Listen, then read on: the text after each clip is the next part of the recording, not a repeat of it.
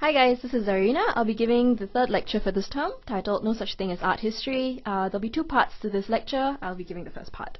Um, okay, so what, what is this lecture about? Why the title? Um, we all know art history does exist. It is a discipline, right, that is, is studied in, in art schools and, you know, why, why, why say that doesn't exist? Um, well, I, my, my point of view is that um, art history as seen as a single story, um, as a single narrative, as a single definitive idea of what counts as art, um, is quite problematic because you know one could one can argue that a single story of art does not exist, um, and that you know it can be said that art is composed of multiple, sometimes competing stories, histories, versions of what we might see, what we think, what we know.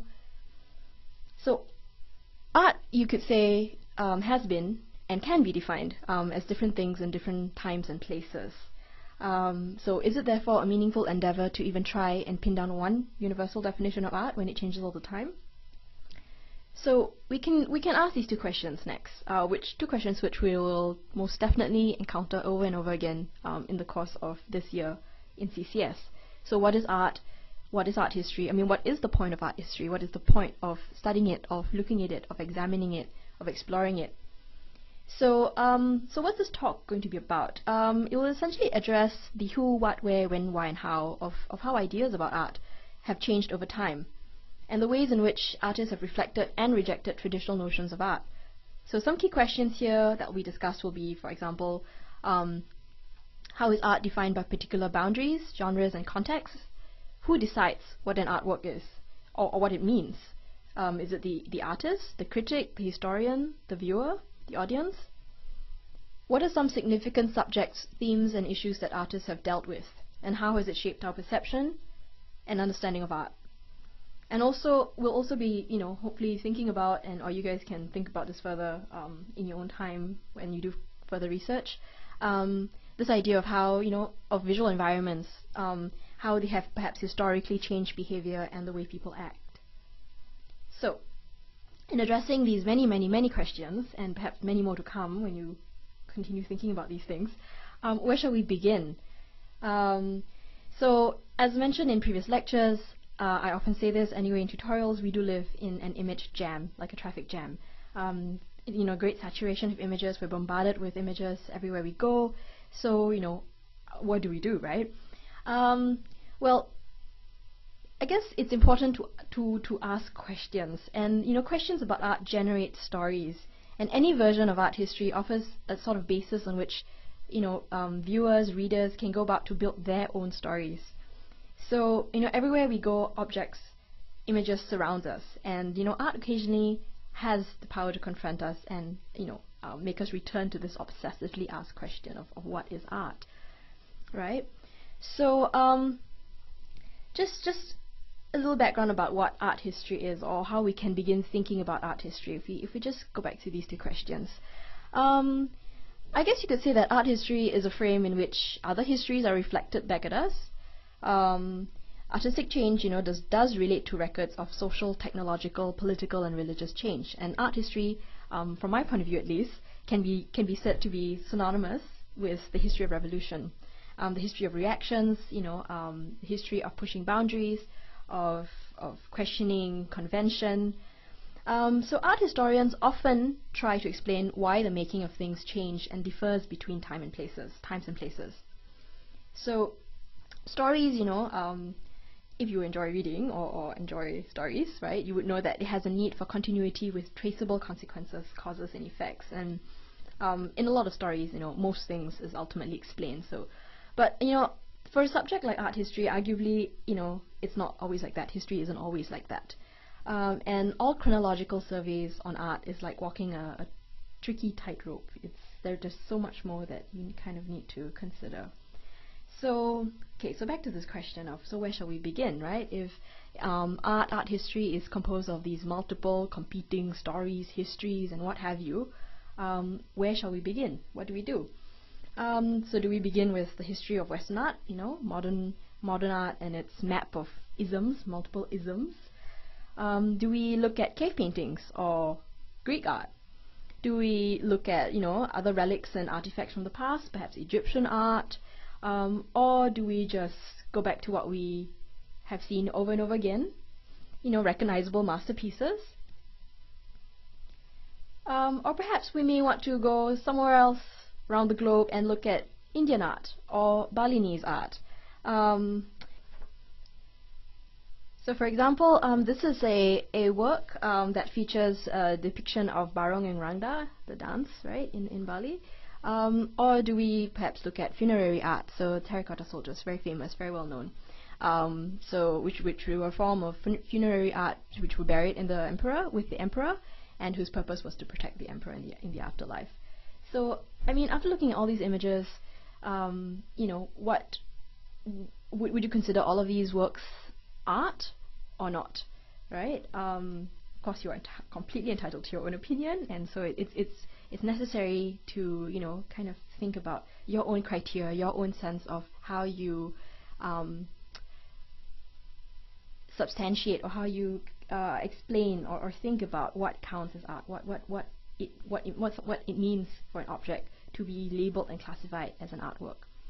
So um, I've got this rather lengthy quote here, but please take your time to read it um, and consider the question here, right at the bottom. So, um, if if you had to bring out all the works of art from from this warehouse, right, what would you select and why? Okay, so in in this in this book, does traditional aesthetics does traditional aesthetics rest on a mistake by W. E. Kennick? Um, he asked the reader to imagine a very large warehouse filled with all sorts of things. Pictures of every description, musical scores for symphonies and dances and hymns, machines, tools, boats, houses, churches and temples, statues, vases, books of poetry and prose, post postage stamps, flowers, trees, stones, musical instruments, etc., etc. So, which ones of these items would you consider art and why? Um, and again, I mean, if you do look at the history of art, you know, the vast, diverse history of art from all over the world, cross-culturally, um, all of these items perhaps has been labeled at some point or another as art. Yes? No? Maybe? So think about that and uh, think about the context in which an item, an object, an image is classified, is labeled as art. So even before we, we look at what art history might be, I think it's useful to think of how we understand the idea of art itself, um, how we come to these definitions. Okay, so let's look at this particular object. Um, I've given you some context there. Um, it's or at least you know you can assume that I'm telling the truth when I tell you when I say that this is a Han Dynasty vase um, from this particular time period. So is this is this an artwork? Is this of value? Um, and how do we ascribe value, meaning, uh, significance to this object, and not just view it as just some old you know vase that that we just just chucked in the corner and doesn't mean anything. Okay, so I think most most people perhaps would um, value this item for its historical um, value, for for its historical significance, um, and so on and so forth. Okay, so what if I were to tell you that um, these 31 colored vases um, are all authentic original Han Dynasty vases that have just been colored like this? How would you feel? what would you feel outraged? Would you feel that okay, it's no big deal, right? Um, these vases would have just rotted away in a museum and nobody really care about them. I mean, what would what do you think? Okay, so and what if I were to tell you um, that this 31 colored vases um, are, are, is, is, is, is an artwork. It's an artwork by um, a Chinese artist named Ai Weiwei. So in 2006, uh, what he did was he um, dripped these 31 Han, Han Dynasty vases into different colored paint. And I mean, what is the purpose for this? I guess you could say that um, you know urns of this age are usually cherished for their anthropological importance. Um, so what what the artist did here was, you know, by by employing them as you know just just ready-made works that you know, and I mean he he basically was um, the intention of this work was to strip the objects of their aura of precious, preciousness and to sort of reapply a different system of valuation. So, um, and here he is dropping Han Dynasty vase, uh, urn in 1995. Um, of course, this work, this whole series of works, um, have caused have been quite controversial, and you know, um, there have been uh, audiences that have been rather outraged uh, by the destruction of these works. Uh, one more Han Dynasty Urn related work. Um, this is a piece whereby he painted the words Coca-Cola on it, as you can see. Um, so as I've said before, um, the artist was interested in, you know, kind of removing, removing the layer of um, preciousness, the, the layer of um, um, th th that certain historical value that has that had been ascribed to the work, and to sort of reassess it and reapply, to reapply this new idea, new ideas onto it. So, um, so what is the purpose really? If you look at all of these different images, why would one do that? Um, one one possible reading, one possible argument is that you know the artist felt that these works were not particularly being valued by people anymore. Um, you know, it was they were just simply seen as as urns from you know a long time ago, and um, his his desire in sort of reappropriating the same object but with um, contemporary by adding this contemporary context or layer into it was to kind of extend its its lease of life so that you know people would still continue to look at it, continue to talk about it. Um, I guess we could say that you know the purpose of all artworks is really to be looked at. Um, W.J.T. Mitchell, an art historian, has famously written about this, uh, whereby he says that uh, the desi all artworks, all objects essentially have one desire, and that is to be looked at. So similarly, um, Jeanette Winterson has written about about these ideas in her essay Art Objects. Um, a notable quote from that essay uh, that I can remember would be uh, the subtext of so much of our looking is admire me. So the same thing applies to artworks that they want to be admired, they want to be looked at, uh, they want to be talked about. So for Ai Weiwei, um, you know, by by taking these objects that people have in a way forgotten and discarded or just seen as unimportant, he is, you know, recreating the recreating a, a sense of um, curiosity and dialogue, even though it may be rather contentious and controversial. So, I guess after looking at images like this, which which may or may not disturb you, um, there may be some of some of you um, out there who, who may feel this is completely outrageous and completely unacceptable.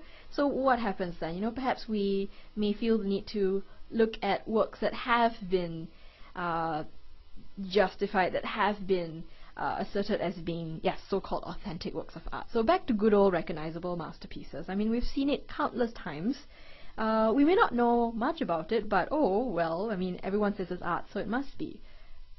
Right? Works like this. Um, Van Gogh or Monet, um, perhaps Jackson Pollock or Andy Warhol, right? These are very, very um, uh, popular images. I mean, they, they, they, we've seen them countless times, as I've said.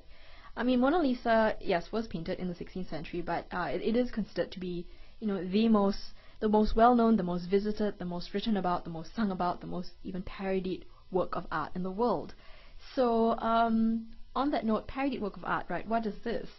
Uh, how many of you here have seen this image and how many of you here do know that it is not simply a random act of vandalism it is not some sort of hipster Mona Lisa here it's it's actually a work that was um, it's actually an so-called um, an authentic artwork um, that was done in 1919 um, okay so before I speak a little bit more about this work um, I'm just going to show you guys this image okay the Fountain um, by Marcel Duchamp, uh, done in 1917, right? What is this? Uh, if you think it looks like a piece of plumbing, i.e. a urinal, you are right. You are absolutely right. Um, so, uh, to cut a long story short, uh, Marcel Duchamp and his friends were kind of tired of the ways that, uh, you know, um, art had been defined, art had been seen uh, within a very limited sort of like he was very tired of the limited idea of, of, of what art could be. So, as a joke, he submitted a urinal um, for this art exhibition. Um, you know, of course, which which created some uproar, created some uh, some noise was made, etc. Uh, but interestingly, even though you know this work was rejected in 1917 for seemingly obvious reasons then, um, in 2004, based from a poll of 500 British art um, professionals and experts, um, this work was voted as the most influential artwork of the 20th century alongside um, Picasso and Warhol's uh, works. So um, that in itself is, is quite an interesting point to take note of, that this this particular individual who completely disregarded, you know, um, the norms and the the conventions of the time, the visual conventions of the time, the artistic conventions of the time, um, would then a couple of decades later, a century later, would be seen as, you know, um, a, a, a exemplary sort of heroic type figure um, in in the history of art. So um, back to this image. So this image was uh, done in 1917 um, sorry, 1919. Um, and it's actually a, a cheap postcard-sized reproduction of the Mona Lisa. Yep. Uh, upon which Duchamp drew a mustache and a goatee. Uh, again, it was meant as a joke. It was meant as a, you know, um, uh, a reaction to the limited definitions of, of art at the time. Um, and his desire to sort of recreate, to sort of, um, I guess you could say, stir up a bit of trouble and um, question the dominant ideas as to what counted as art. So, um, you know, Duchamp and his friends, you can do further research on this. Um, they all belong to um, this movement, th these movements, uh, to the Dada movement. So it was a precursor to Surrealism, and um, this movement stressed the absurd, the unpredictable, the illogical, the chaotic, and they often lashed out against traditional aesthetics. So aesthetics meaning what counts as beautiful, so it's really interesting when you when you do look at the history of art, and I've said this before, right? The history of art can be said to be the history of troublemakers. Um, that it's it's very often you know made up of yeah individuals who have questioned, who have you know um, really desired to to push the the boundaries or the parameters of of what counts as whatever. So, um, which leads me to my next point, which is um, the canon. Okay, so what is a canon? Um, when we think of art history, we can think. I mean, very often we would kind of fall back on on the same the same sort of herd of names, right? Your Picasso, the you know the Dali, the Warhols, etc. Um, so uh, these these individuals make up the art historical canon, and the canon, uh, a definition of it would be a series of image makers' works or works that somehow qualify as setting, as setting the standards of quality. So all these works, um, Les Demoiselles d'Avignon, um, Mona Lisa, etc., th these all form the canon. And I guess in thinking about the canon, it's it's very very important to think about to ask this question. I mean, who decides who or what is so-called the best or the most important? Um, how might the canon be re-evaluated? And um, later on this lecture, we'll talk a little bit more about um, who has been left out and why. So history of art, right? These would be the the usual suspects: the Pollocks, the Rothkos, the Matisses, the the Braque and Picasso, Picabia, etc., etc. Um, and I don't know how observant some of you are, but um, I dare say that all these names are male. Okay, we'll come to that in a bit. So it can be argued that there are many canons. I mean, there's the modern canon, there's the canon of Renaissance painting, the canon of still life painting. So basically, what is seen to be the best uh, is, is setting, setting the standard. Um, however, it's important to see any canon as a construction, um, an artificial sort of standard established by whoever's in charge, by the ruling elite, whoever's in power, who whoever has a say, has, has the loudest voice, etc. So some works, some some reasons. I mean, if you ask if, if your next question is, you know, so who decides, right? Who decides this canon? Um, what are some reasons why certain works of art are included? Um, there are there are there are a range of, you know, um, factors. Um, so one of them could be the the status of the patron, um, the prominence of the art museum in which it is displayed, the reputation of the artist. I mean, all of these are not um, it's not a fixed checklist. It could be one or the other. It could be you know two out of five or whatever I've listed, but um, it really all depends on the context of the work um, and the time period in, in which it was it was exhibited, etc. Um, other reasons could also be the popularity of the style or the subject. Um, the attention it has received from critics, historians, curators, and sometimes it, it really has very little to do with the work's aesthetic appeal, um, as perhaps in the case of uh, Marcel Duchamp's Fountain. Um, but it, it, had a lot more to do with making a statement. It had a lot to do with, um, you know, the ability to sort of uh, ask ask important, necessary questions that kind of made everybody sit up and, you know, um, then reevaluate and then set a sort of new standard for what counts as art. Um, however, this this idea of the canon, I mean, it is, as I've said before, quite problematic. And I mean, some of the some of the criticisms of the canon would, would include, um, you know, it, it the narrowness of its range of subject matter, um, the concentration of individual individual artists whom it classified as geniuses, um, it can also be criticized for not adequately considering the greater social environment in which artists worked and lived in. And um, it also takes Euro-American art production and art theory as its exclusive fields of interest. Uh, what does that mean?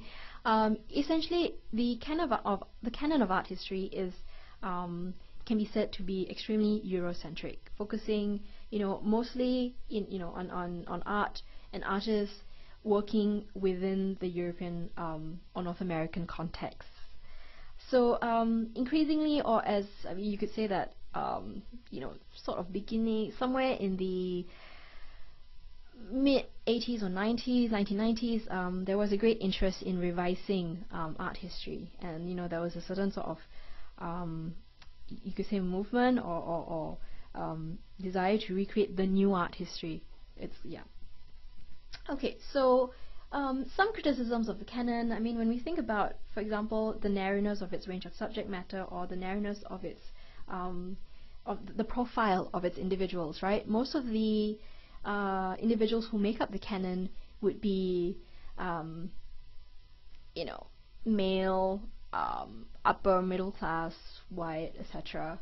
Um, generally, you know, rather privileged. So, um, you know, it's it's important to kind of think about how any history of art is really only a, a partial, incomplete history, and that underlying assumptions to this traditional history, um, it really needs to to be opened up for questioning. So, very important point to consider to take note of is that we do all need to be very critically alert to what it assumes and not simply what. Okay, so just one more point, just to link it to the um, to your reading text for this term, Ways of Seeing by John Berger. Um, I, have picked a quote from, from, from the book whereby he says that the art of any period tends to serve the interests of the ruling class. Okay, so please think about what that means, and we'll discuss that further in tutorials. Okay, so um, my next image, next image um, is a work by a an art collective that began uh, in 1985 in New York in 1985, and um, this work is a reaction um, to the canon, to the art historical canon. It is a visual criticism of the canon.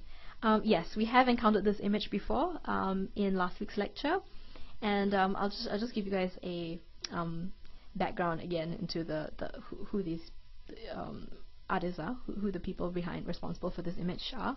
So this is a work done by the Guerrilla Girls, who are an anonymous group of female artists, uh, feminists, you know, de devoted to looking at um, issues of sexism, racism uh, within the international art world, art community. So um, the group formed in New York City in 1985 with this idea of bringing gender and racial inequality uh, within the visual arts, uh, within popular culture, um, within film, uh, to light. So um, so members of, of you know of, of, this group are, as I said, anonymous, and they wear gorilla masks. Um, I mean, above all, the, the group is credited um, for sparking dialogue and bringing national as well as international attention to issues, to these issues uh, pertaining to uh, gender, race, um, class, ethnicity, etc. within the arts. So um, here's a here's a just a quick quote from from the artists, uh, from the Guerrilla Girls. So they say. We use facts, humor, and outrageous visuals to expose sexism, racism, and corruption in politics, art, film, and popular culture. So interestingly and ironically, um, many many major museums, um, many important major museums um, in Europe and North America, who have been criticized by the Guerrilla Girls, actually now own works by the group in their collection. So um, this this poster here, uh, do women have to be naked to get into the Met, Met Museum, the Metropolitan Museum? Um, followed by the statement that less than 5% of the artists in the modern art sections are women, but 85% of the nudes are female. Okay, so this is a work from um, 1989, and I guess you know it's interesting that they've kind of juxtaposed the um, gorilla mask with this um, eroticized female nude, right? Um, with this and, and, and you know the the what we're drawn to is this large snarling gorilla head. Um, so this poster, this image really, you know, um, it does explain itself. It's quite self-explanatory, um, but it also kind of questions the the idea of the male gaze, um, the idea of looking, right?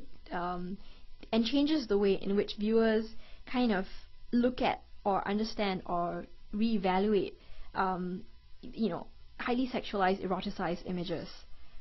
Um, so apart from looking simply at gender and sexuality, as I've said, they also look at issues of race. Um, so this this is another um, poster that you know is one of my that I, I think is, is fantastic. okay, so um, and you can Google them and, and find out lots lot about all the other works that they do. Okay, so one of the um, interests of this group, and perhaps art historians today, working today, um, and even artists working today, right, sometimes there's no distinction, is um, this need to move beyond a single story of art. Um, and I think this is an extremely important point to to consider and and take note of you know given that we are currently right in Southeast Asia and um, yes a lot of these works are culturally historically geographically geographically um, distant from us um, you know we, we see them but you know perhaps there is no historical link personal sort of identification or link um, to these images they're just simply sort of distance um, sort of images so um, I mean, in, in, asking these questions, in in desiring to be a whole lot more inclusive in the way that we look at art and the way that we understand art, I mean, I think um, it also helps us to understand the context in which we are living and working in in in Asia. Okay, so back to this idea of moving beyond a single story art. So, um, so this traditional history. Um, when I say traditional history, I'm referring to again the Euro, the Eurocentric um, idea of, of art history. Um, so it's essentially a narrative history. It's, it's like a story. Um, and the story is populated by gifted characters whose names we are very happy to recognize. Um, and maybe we, you know, happy to recognize, but we may not feel that we should question, you know, their legitimacy as artists, um, simply because they're so famous or, or these works are so well known. Um, so as I said before, the traditional history of art also tends to be the history of men. And um, the traditional history of art also tends to be the history of painting. I mean, when we look at contemporary art, um, art itself is not just painting or sculpture. I mean, there's art can be installation, it can be um, videos, it can, you know, the, the notion that it can be performance. The notion of art today um, has really expanded and multiplied and, and you know, um, become this whole other sort of meaning this whole other thing. Um, the traditional traditional history of art is also very much tied up with the commercial art market. So um, very often, you know, what is documented or reported as being art is um, based on all these all these different factors. So when we think about reframing history, art, and the canon, um, as I've said before, right, these are questions, important questions to consider, right? Who decides who, or what is the best, or who is the most important? you know, is it the viewer, the, the critic, the historian? Um, how might the canon be re-evaluated? Who has been left out and why? So, you know, any history of art or any history of, of anything for that matter um, can only be a partial, incomplete history. Um, I mean, I've said this many times in, you know, previous lectures, previous classes, that, you know, when you really do look at the idea of um, documented history or, or what you study as history, it's really the history of the winners, the history of um, uh, I mean, if, if you were to, for example, you look at world history and you kind of lay out all the history books of, of you know every single country in the world in the same room, you would probably have overlapping stories that um, you know may document the same event, but maybe from different perspectives. So Um, my point is that you know when we look at history, it's really really important to to be critical, to be analytical, to ask questions, and not simply take them take everything you read as fact. So history is not just about who is recorded, but also who is omitted. That I think is a more valuable question. Um, what is being rejected, forgotten, or repressed? So we've we've come to this point. We've, we've addressed this point before. I mean, there is no such thing as a definitive art history. There is no art history, right? But rather histories of art. It's it's multiple histories. There are there's definitely more than one of it. So um, just just a, to to add on to this this point that um, these points that I've been making. Um, I'm not sure whether some of you have heard of E.H. Gombrich. So he is a very, very well-known art historian who wrote the extremely famous and um, very, you know, well sold um, The Story of Art. Um, it's titled The Story of Art, his book. Uh, which was published in 1950 and sold over about 6 million copies and translated into 32 languages. So just just to note, just to note, just an observation that um, out of the 411 works that he cited, uh, not one is attributed to a female artist.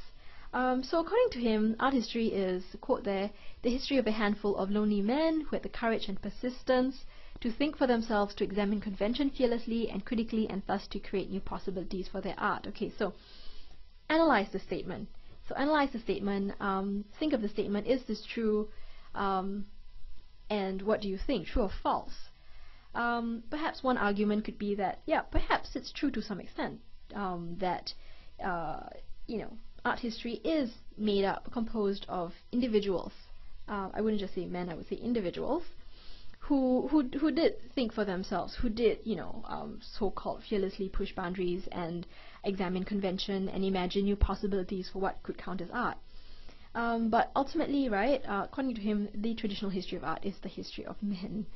Um, so, what next? What next? You know how? All right. So yes, what next? So when we think of you know um, what has been omitted, what has been forgotten, um, we'll come back to this image. I mean, you guys have we've I've, we've shown you guys this image several times already. Um, you do know it's um, Olympia by Manet, but I guess not many of us would go for uh, take a step further and ask who who are the individuals featured in this work? Who, who are the individuals that he painted? Who is this woman? Um, who is this model? Um, so the case of Olympia, right, is a classic case of how artistic individuals who may have contributed, um, you know, contributed to, to art to, to art uh, art history, um, you know, have just simply been omitted or just simply not been documented. So in in this work, um, sure, we can talk about, you know, the issues of the gaze, blah, blah, blah. Um, but something to consider is also the, uh, the fact that the model here is not just, she's not just a model, she was actually a, a an artist, an artist in her own right. Um, so her name is uh, Victorine Meurent, and um, she, although she does appear in nine of um, Manet's paintings, um, you know, very little was actually known about her or, or docu documented about her. Um, and she was only sort of discovered, rediscovered some somewhere in the mid 1990s um, by art historian Eunice Lipton in this books in this book Alias Olympia. Um, so the book uh, opens with a with a chapter entitled History of an Encounter, and it relates um, this uh, this historian's you know, own recognition of Meurent's presence in Manet's work. Um, she says, "I don't I don't remember when I first saw Victorine Meurent, but I, but I wouldn't have recognized her or known her name at the time. No one would have. She was just another naked woman in a painting. Um, so, you know, uh, you can Google, you can find this book and read it. It's, it's fantastic, very interesting. Um, you know, she does, through, through her own research, through uh, tracing back um, historical accounts, going back, going to Paris, and, and you know, finding birth certificates, death certificates, etc. Um, you know, she found out a lot more about this individual um, than was actually, you know, known. And um, what we do know is that Victorine Meurent had fulfilled her painting ambitions and exhibited at the 1876 um, at an 1876 ex um, uh, visual arts sort of uh, exhibition in the same year that Manet's work was rejected. Okay, so this is just an example of um, how you know how individuals that may have contributed, they may have, you know, made some significant contribution, which are simply not documented, right? Um, so, just just a quote here uh, by Judy Chicago. Please go and Google her and find out what work she's done. Um, so, from her point of view, history has been written from the point of view of those who have power. It is not an objective record of the human race, and we do not actually know the history of humankind. Um, a true history would allow us to see the mingled efforts of people of all colors and sexes, all countries and races, all seeing the universe in their own diverse ways. So, um, you know, I guess, you know, a, main thing of, of the, about this lecture is really um, going back to the to the very first very first lecture that, that we gave um, on examining and questioning our assumptions. So what what what are our assumptions about art? What is our assumptions about history? What is about what are our assumptions about you know all these different um, issues that we have addressed or we will address in contextual studies. So what is art? What is art history? Who is history? Um, so we'll speak more about these questions, uh, maybe even this artwork in tutorials. This is a work by Picasso um, that was done in 1908. It's titled Les Demoiselles d'Avignon. Um, also very controversial for several reasons um, which I will not expound on given the time constraints in this lecture, but please do your research and we can talk about it further in tutorials. So just to conclude my um, the first part of this lecture, um, so as I've said before, and I mean, um, art could be seen as really different things in different times and places. I mean, if you look at all these different images, they have been defined as art at some point or another, um, you know, or, or, or still being seen as the standard um, the the measure, the yardstick of what what is art. So I guess we could say that in the last hundred years or so, there has been a very systematic questioning of how, how art can be defined. So some of the definitions and value judgments which we have become accustomed to may have arisen from seeing art in very specific context, contexts and environments. So, for example, you know, is art art because it's displayed in a museum, in a gallery? I mean, I've asked these questions before, right? Is it art because it's got a $50 million price tag? So how do we value art? Um, so something to think about is you know the changing meaning of it of this word um, and how definitions of art tend to be culturally relative. Uh, they reflect the ideas, values, and assumptions of the societies and contexts in which they have developed. So visual creators across history have worked under very different assumptions about the nature of their task, the purpose it served, and the audience it was for. So um, you know, so whenever we look at a theory, an idea, a history, we should always be, you know, alert to what it assumes and, and not just simply what it seems to, to say and, and then accept it as fact, you know. Um, ask questions, ask questions, ask questions. So just, just one more point to add before I conclude. Um, an established canon is not without its advantages. I mean, there are there are positive things about you know that can be seen or said about the established canon. Uh, for example, it can provide a common body of knowledge that operates usefully as a departure point for those new to the subject. So for those of you who are encountering these images for the first time, for those of you who um, are seeing, um, or, are, you know, for, for, those of you who are being introduced to the idea of art history or um, the, the ideas of the canon, for example, all these things for the first time, um, sure, it can be a great departure point, a great point, a starting point. Um, but from here onwards, you know, they need to question, they need to um, examine, the need to reevaluate, the need to contextualize is absolutely important. Thank you.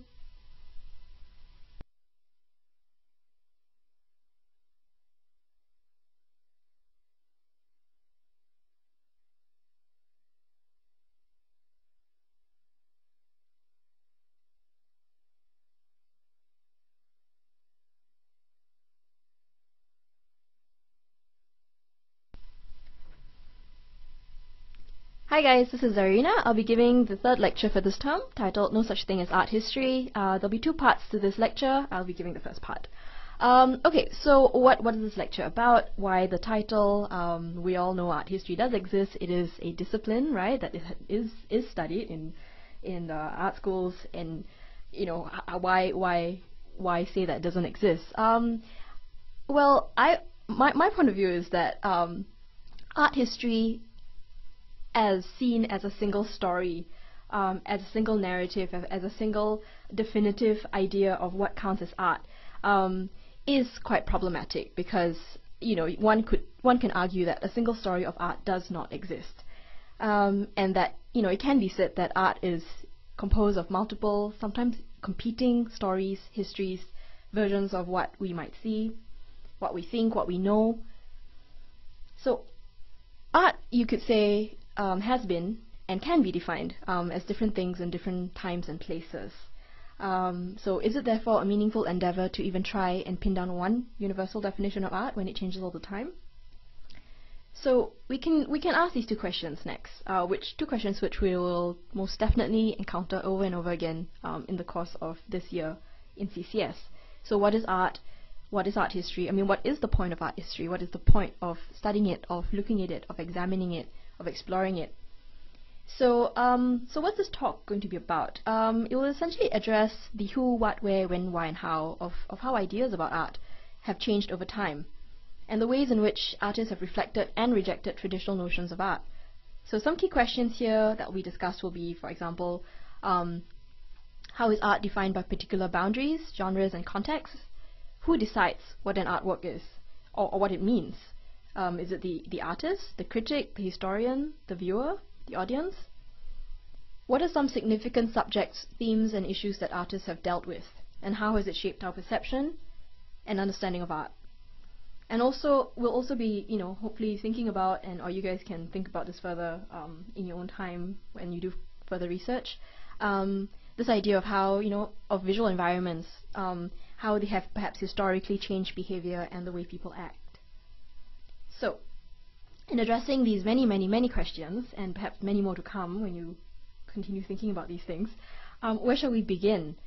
Um, so, as mentioned in previous lectures, uh, I often say this anyway in tutorials, we do live in an image jam, like a traffic jam. Um, you know, great saturation of images, we're bombarded with images everywhere we go, so, you know, what do we do, right? Um, well, I guess it's important to to to ask questions, and you know, questions about art generate stories, and any version of art history offers a sort of basis on which you know um, viewers, readers can go about to build their own stories. So you know, everywhere we go, objects, images surrounds us, and you know, art occasionally has the power to confront us and you know uh, make us return to this obsessively asked question of, of what is art, right? So um, just just a little background about what art history is or how we can begin thinking about art history if we, if we just go back to these two questions. Um, I guess you could say that art history is a frame in which other histories are reflected back at us. Um, artistic change, you know, does, does relate to records of social, technological, political, and religious change. And art history, um, from my point of view at least, can be, can be said to be synonymous with the history of revolution. Um, the history of reactions, you know, um, the history of pushing boundaries, of, of questioning convention. Um, so art historians often try to explain why the making of things change and differs between time and places, times and places. So stories, you know, um, if you enjoy reading or, or, enjoy stories, right, you would know that it has a need for continuity with traceable consequences, causes, and effects. And um, in a lot of stories, you know, most things is ultimately explained. So, but you know, for a subject like art history, arguably, you know, it's not always like that. History isn't always like that.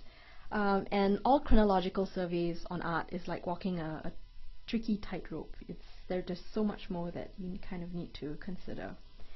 So, okay, so back to this question of so where shall we begin, right? If um, art, art history is composed of these multiple competing stories, histories, and what have you, um, where shall we begin? What do we do? Um, so do we begin with the history of Western art, you know, modern modern art and its map of isms, multiple isms? Um, do we look at cave paintings or Greek art? Do we look at, you know, other relics and artifacts from the past, perhaps Egyptian art?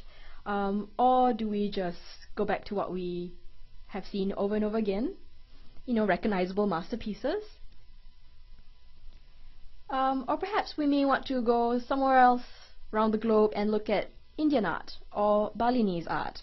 Um, so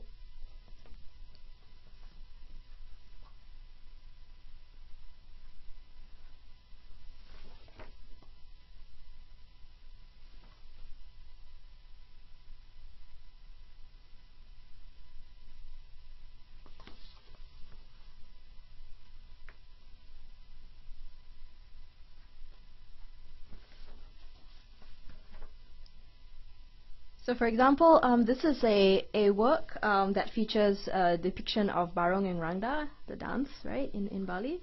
Um, or do we perhaps look at funerary art? So, terracotta soldiers, very famous, very well known. Um, so, which, which were a form of fun funerary art which were buried in the emperor, with the emperor, and whose purpose was to protect the emperor in the, in the afterlife. So, I mean, after looking at all these images, um, you know, what would, would you consider all of these works art or not, right? Um, of course, you are completely entitled to your own opinion, and so it, it's it's it's necessary to you know kind of think about your own criteria, your own sense of how you um, substantiate or how you uh, explain or, or think about what counts as art, what what what it what it, what what it means for an object to be labeled and classified as an artwork. So um, I've got this rather lengthy quote here, but please take your time to read it. Um, and consider the question here, right at the bottom.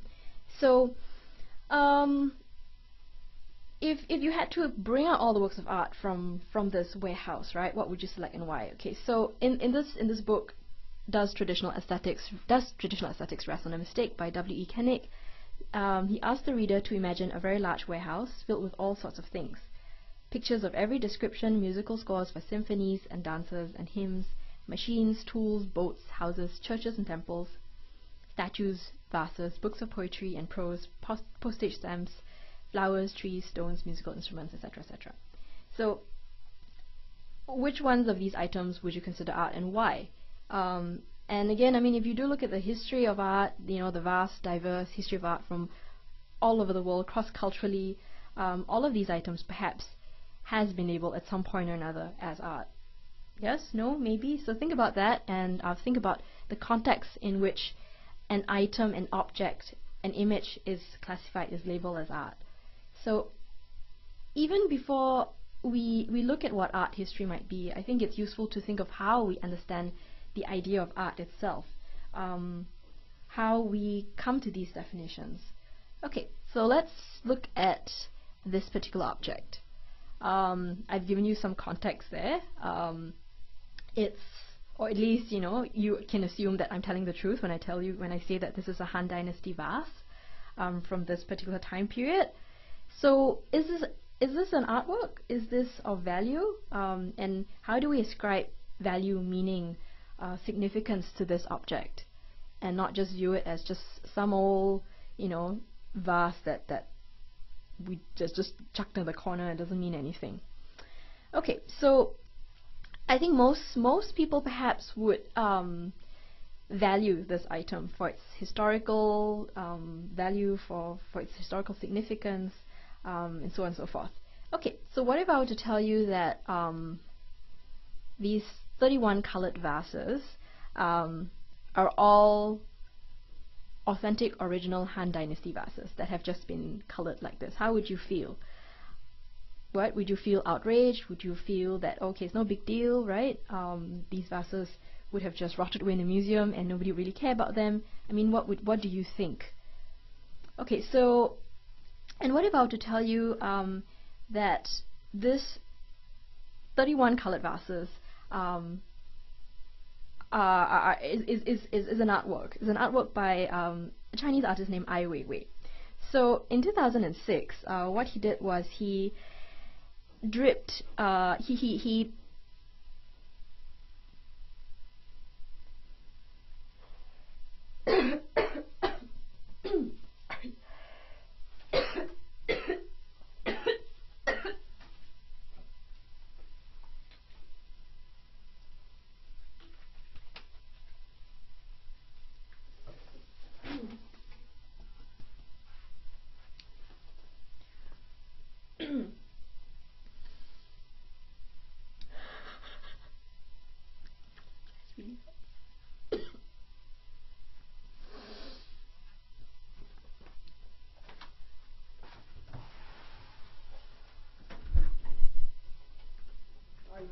hurt that point, so it's okay.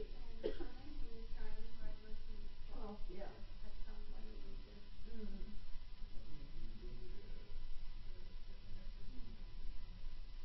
Can I see how I am after lunch lah? It's a rush lah. I, I will try, I will try.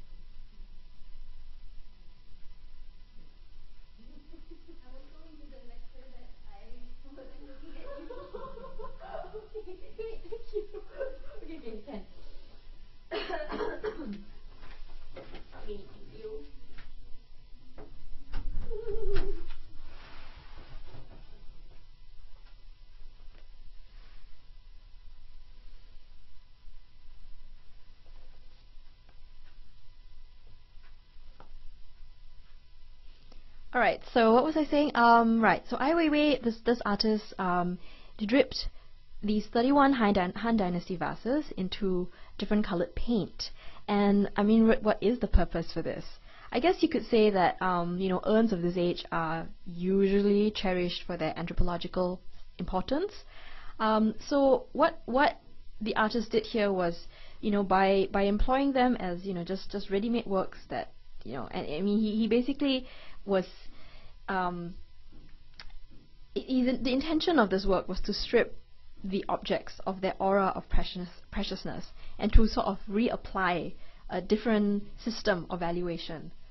So, um, and here he is dropping Han Dy Dynasty vase uh, urn in 1995. Um, of course, this work, this whole series of works um, have caused, have been quite controversial, and you know, um, there have been uh, audiences that have been rather outraged uh, by the destruction of these works.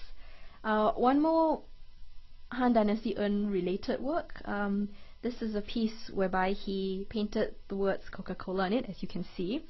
Um, so as I said before, um, the artist was interested in, you know, kind of removing, removing the layer of um, preciousness, the, the layer of um, um, th th that certain historical value that has that had been ascribed to the work, and to sort of reassess it and reapply, to reapply this new idea, new ideas onto it. So, um, so what is the purpose really? If you look at all of these different images, why would one do that? Um, one one possible reading, one possible argument is that you know the artist felt that these works were not particularly being valued by people anymore um, you know, it was they were just simply seen as as urns from you know a long time ago, and um, his his desire in sort of reappropriating the same object but with um, contemporary by adding this contemporary context or layer into it was to kind of extend its its lease of life so that you know people would still continue to look at it, continue to talk about it. Um, I guess we could say that you know the purpose of all artworks is really to be looked at. Um, W.J.T. Mitchell, an art historian, has famously written about this, uh, whereby he says that uh, the desi all artworks, all objects, essentially have one desire, and that is to be looked at. So similarly, um, Jeanette Winterson has written about about these ideas in her essay Art Objects. Um, a notable quote from that essay uh, that I can remember would be uh, the subtext of so much of our looking is admire me. So the same thing applies to artworks, that they want to be admired, they want to be looked at, uh, they want to be talked about. So for Ai Weiwei, um, you know, by, by taking these objects that people have in a way forgotten and discarded or just seen as unimportant, he is, you know, recreating the recreating a, sense of um, curiosity and dialogue, even though it may be rather contentious and controversial. So I guess after looking at images like this, which which may or may not disturb you, um, there may be some of some of you um, out there who, who may feel this is completely outrageous and completely unacceptable. So what happens then? You know, perhaps we may feel the need to look at works that have been uh, justified, that have been uh, asserted as being, yes, so-called authentic works of art. So back to good old recognizable masterpieces. I mean, we've seen it countless times uh, we may not know much about it, but oh, well, I mean, everyone says it's art, so it must be. Right? Works like this. Um, Van Gogh or Monet, um, perhaps Jackson Pollock or Andy Warhol, right? These are very, very um, uh, popular images. I mean, they, they, they, we've seen them countless times, as I've said. I mean, Mona Lisa, yes, was painted in the 16th century, but uh, it, it is considered to be, you know, the most, the most well-known, the most visited, the most written about, the most sung about, the most even parodied work of art in the world. So, um, on that note, parodied work of art, right? What is this? Uh, how many of you here have seen this image, and how many of you here do know that it is not simply a random act of vandalism? It is not some sort of hipster Mona Lisa here. It's it's actually a work that was um, it's actually an so-called um, an authentic artwork um, that was done in 1919. Um, okay, so before I speak a little bit more about this work, um, I'm just going to show you guys this image. Okay, The Fountain um, by Marcel Duchamp, uh, done in 1917. Right, what is this? Uh, if you think it looks like a piece of plumbing, i.e. a urinal, you are right. You are absolutely right. Um, so, uh, to cut a long story short, uh, Marcel Duchamp and his friends were kind of tired of the ways that, you know, um, art had been defined, art had been seen uh, within a very limited sort of, like, uh, he was very tired of the limited idea of, of, of what art could be. So, as a joke, he submitted a urinal um, for this art exhibition. Um, you know, of course, which which created some uproar, created some uh, some noise was made, etc. Uh, but interestingly, even though you know this work was rejected in 1917 for seemingly obvious reasons, then um, in 2004, based from a poll of 500 British art um, professionals and experts, um, this work was voted as the most influential artwork of the 20th century alongside um, Picasso and Warhol's uh, works.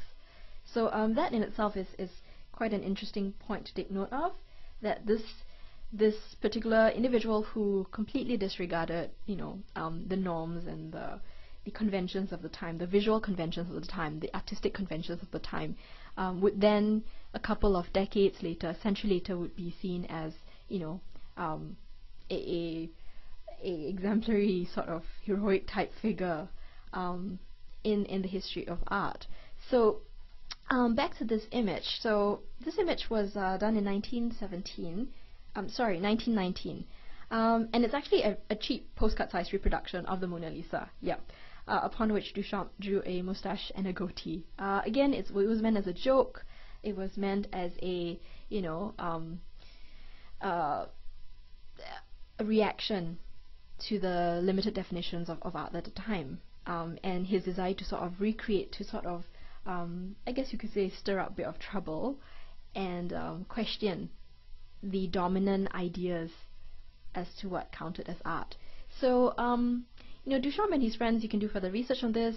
Um, they all belong to um, this movement, th these movements, uh, to the Dada movement. So it was a precursor to Surrealism, and um, this movement stressed the absurd, the unpredictable, the illogical, the chaotic, and they often lashed out against traditional aesthetics.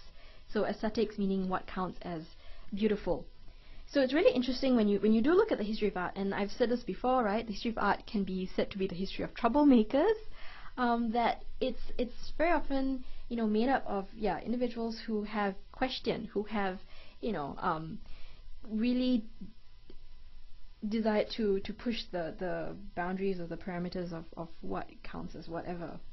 So, um, which leads me to my next point, which is um, the canon. Okay, so what is a canon? Um, when we think about history, we can think. I mean, very often we would kind of fall back on on the same the same sort of herd of names, right? Your Picasso, the you know the Dali, the Warhols, etc. Um, so uh, these these individuals make up the art historical canon, and the canon, uh, a definition of it would be a series of image makers' works or works that somehow qualify as setting as setting the standards of quality.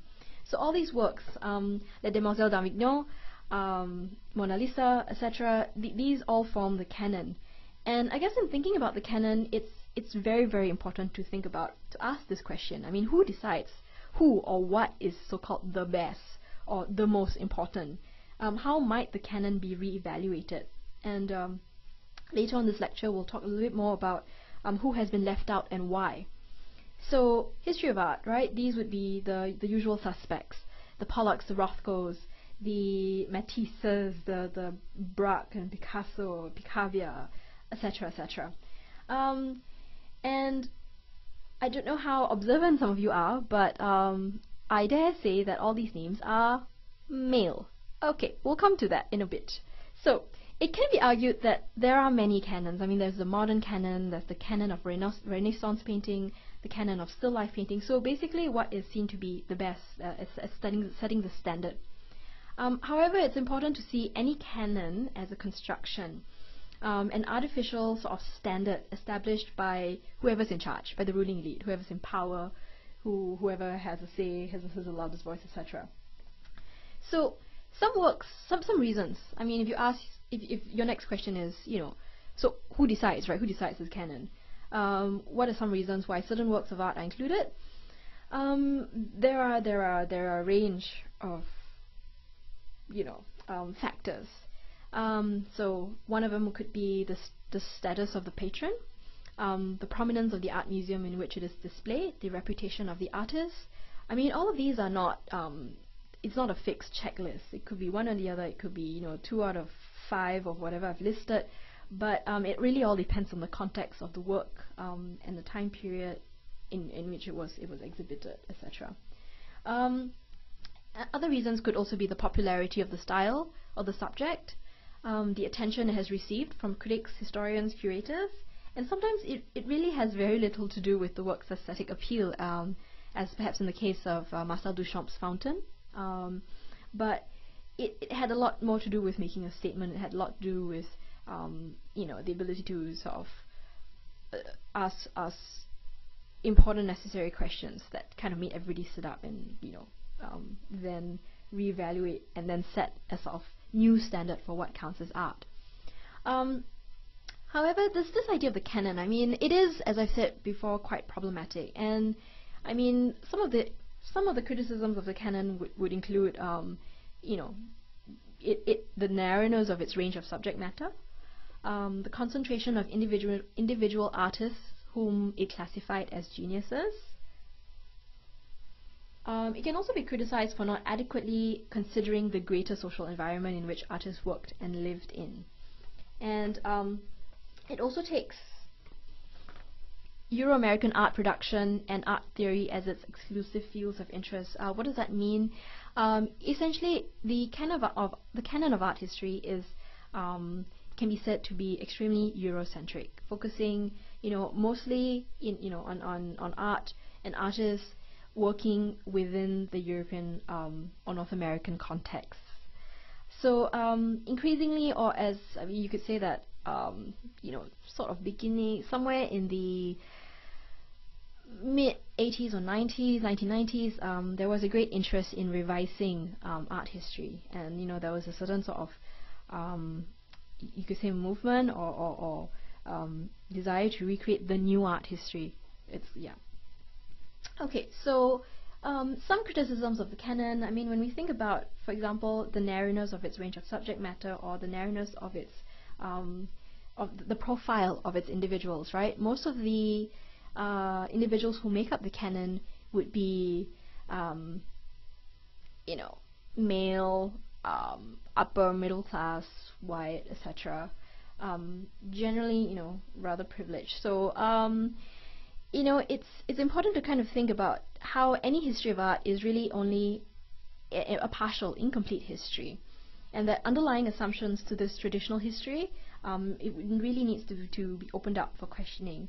So very important point to consider, to take note of, is that we do all need to be very critically alert to what it assumes and not simply what it states.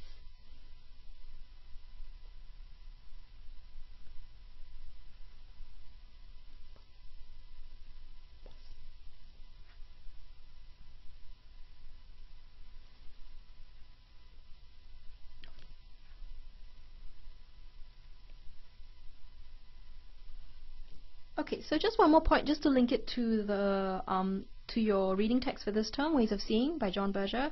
Um, I, have picked a quote from, from, from the book whereby he says that the art of any period tends to serve the interests of the ruling class. Okay, so please think about what that means, and we'll discuss that further in tutorials.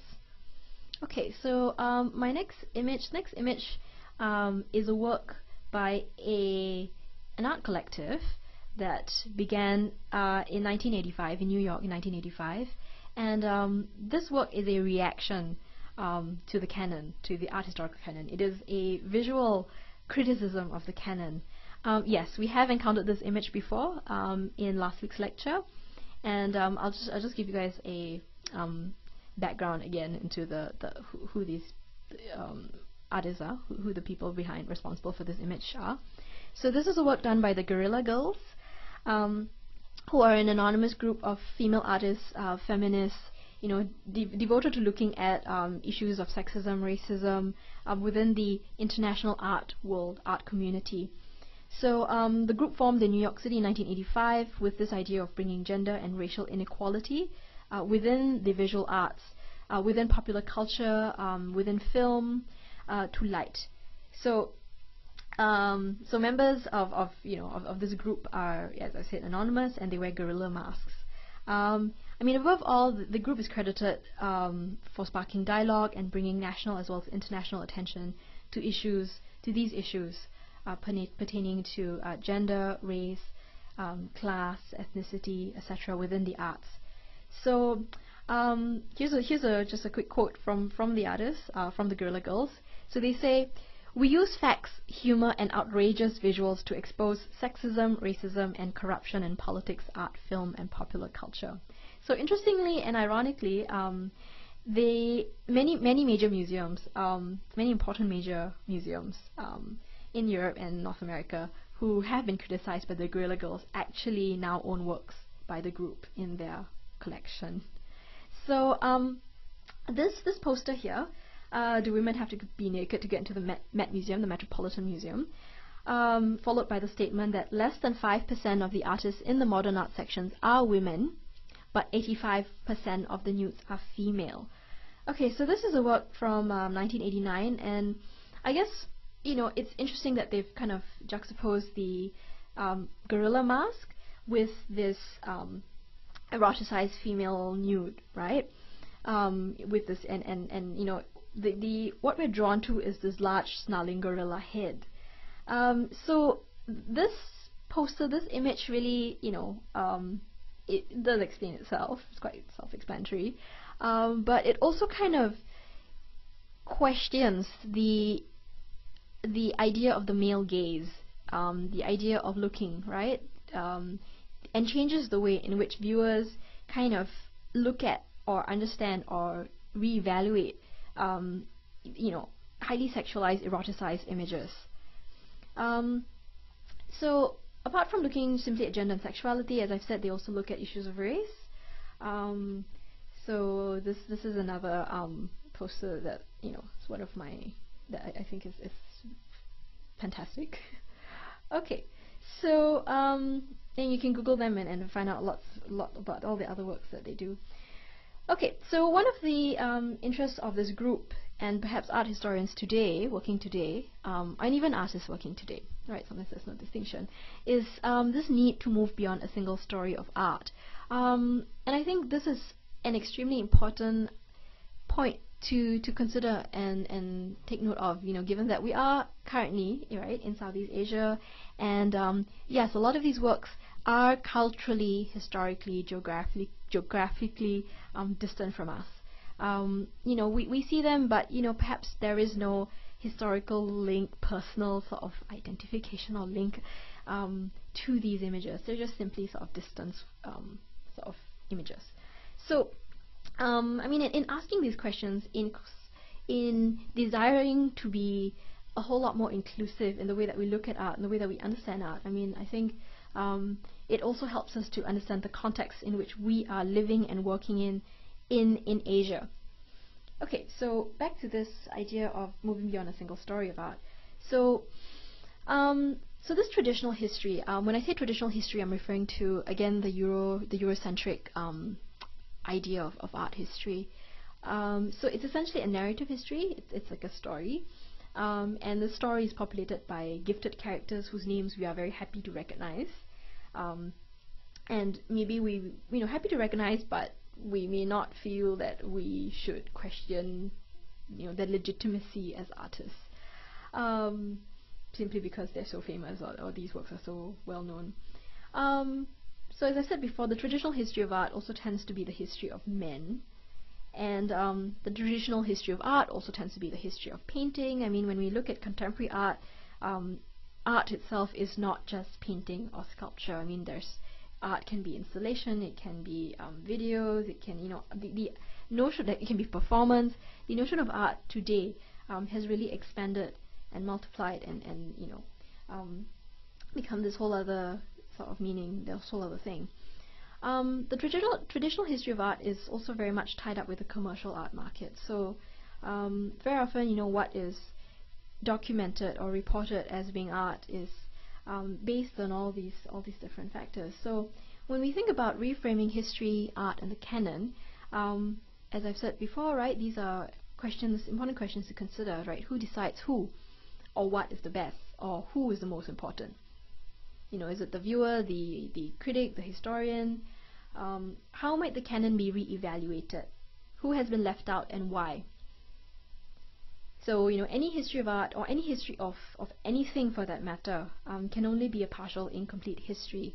Um, I mean, I've said this many times in, you know, previous lectures, previous classes, that, you know, when you really do look at the idea of um, documented history or, or what you study as history, it's really the history of the winners, the history of, um, uh, I mean, if, if you were to, for example, you look at world history and you kind of lay out all the history books of of you know every single country in the world in the same room, you would probably have overlapping stories that um, you know may document the same event, but maybe from different perspectives. So um, my point is that you know when we look at history, it's really really important to to be critical, to be analytical, to ask questions, and not simply take them take everything you read as fact.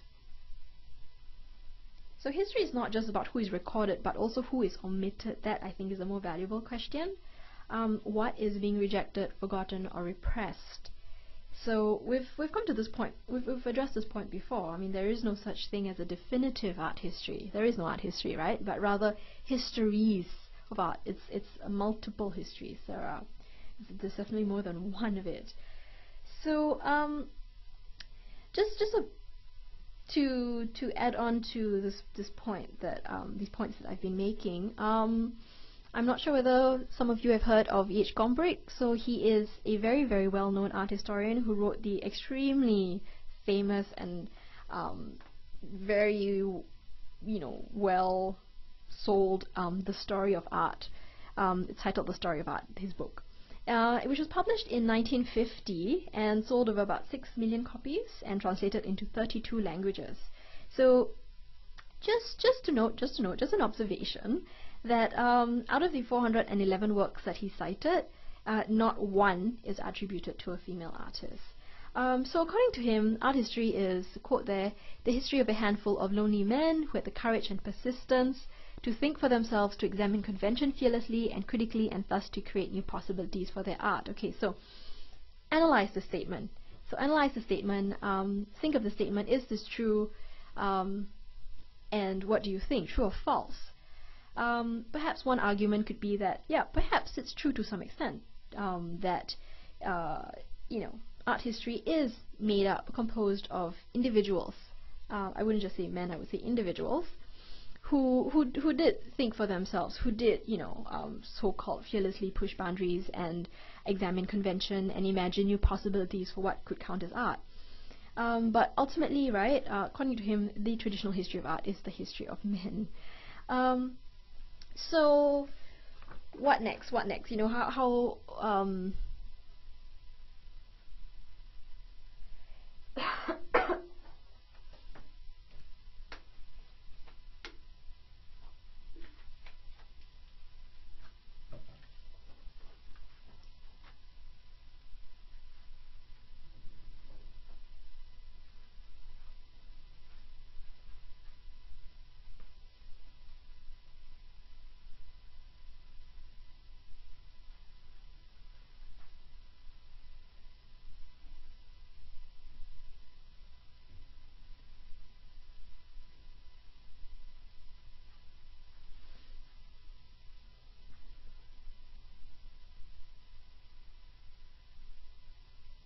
right. So yes, what next? So when we think of you know um, what has been omitted, what has been forgotten, um, we'll come back to this image. I mean, you guys have we've I've, we've shown you guys this image several times already. Um, you do know it's um, Olympia by Manet, but I guess not many of us would go for, uh, take a step further and ask who who are the individuals featured in this work? Who who are the individuals that he painted? Who is this woman? Um, who is this model? Um, so the case of Olympia, right, is a classic case of how artistic individuals who may have contributed, um, you know, contributed to, to art to, to art uh, art history, um, you know, have just simply been omitted or just simply not been documented. So in in this work, um, sure we can talk about you know the issues of the gaze, blah blah blah, um, but something to consider is also the uh, the fact that the model here is not just she's not just a model. She was actually a, a an artist, an artist in her own right.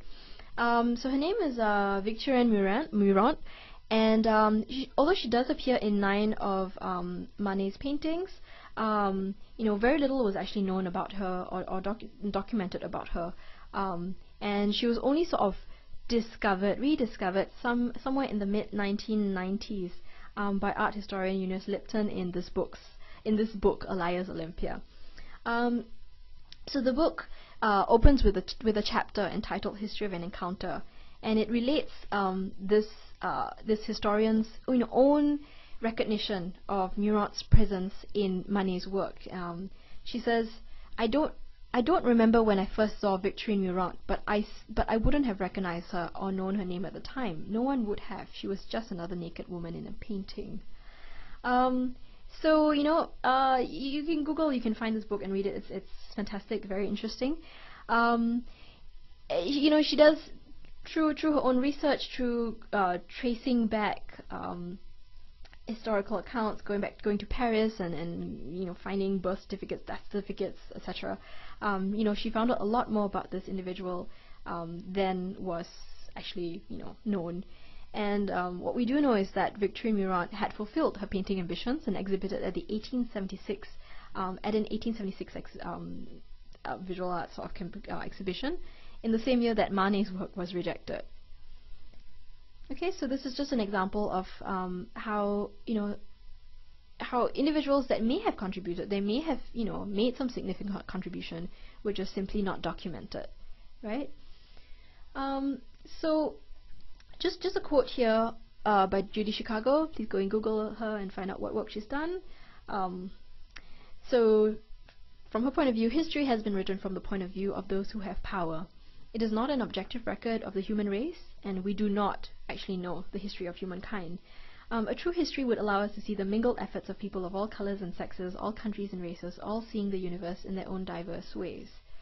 So, um, you know, I guess you know a, main thing of, of the, about this lecture is really um, going back to the to the very first very first lecture that, that we gave um, on examining and questioning our assumptions. So what what what are our assumptions about art? What is our assumptions about history? What is about what are our assumptions about you know all these different um, issues that we have addressed or we will address in contextual studies. So what is art? What is art history? Who is history?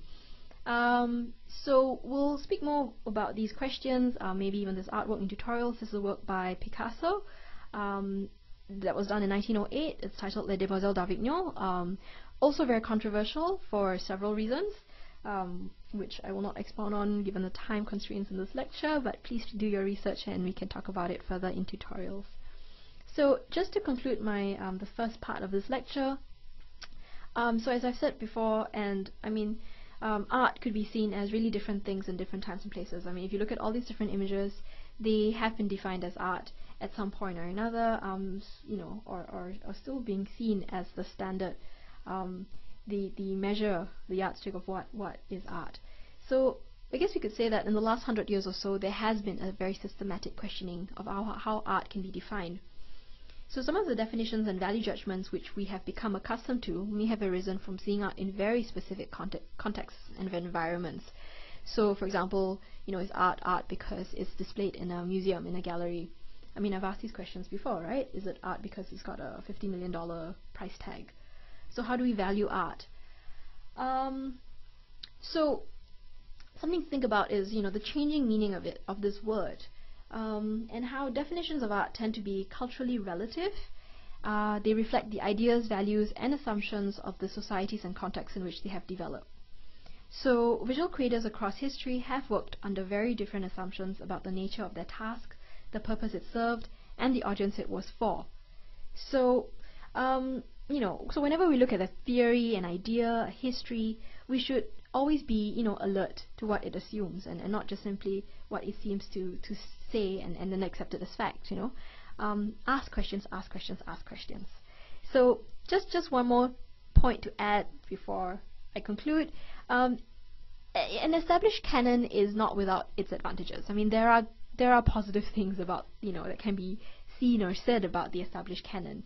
Uh, for example, it can provide a common body of knowledge that operates usefully as a departure point for those new to the subject. So for those of you who are encountering these images for the first time, for those of you who um, are seeing um, or, are, you know, for, the, for, those of you who are being introduced to the idea of art history or um, the, the ideas of the canon, for example, all these things for the first time, um, sure, it can be a great departure point, a great point, a starting point.